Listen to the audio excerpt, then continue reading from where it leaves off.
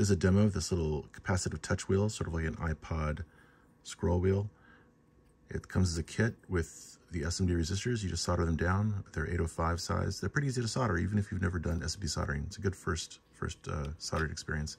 And you, then you just hook it up to any GPIO pins on your on your microcontroller. This one's hooked up to pins 18 through 20 on this Pico, and this one's through 11 through 13, I think. So you can do multiple iPod-like scrolly action. and uh, this is sort of a prototype for a, um, a much larger project, this uh, Pico slider toy that's got both the rotary and the linear sliders and some buttons.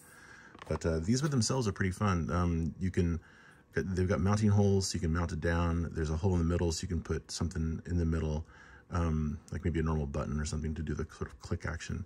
Also, they're almost the exact perfect size to fit around, fit behind NeoPixels. So that could be useful. I can imagine this behind the NeoPixel, perhaps.